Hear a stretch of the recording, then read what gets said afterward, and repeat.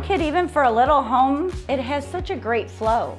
I absolutely agree. And I love the original hardwood floors, and I bet it flows throughout the bedrooms too.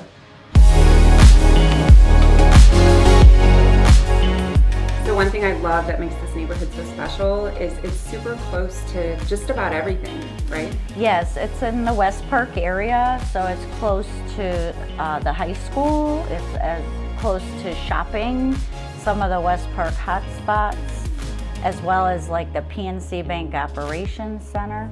Yeah, it's great. And what I love about this home too is it would make an excellent first-time home buyer home Mhm. as well as an investment property. Absolutely. It's the perfect size and it's been so well maintained.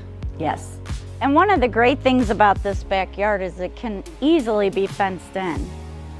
And Jean, did you tell him that this backyard can be easily fenced in? Yes, I did, Kit.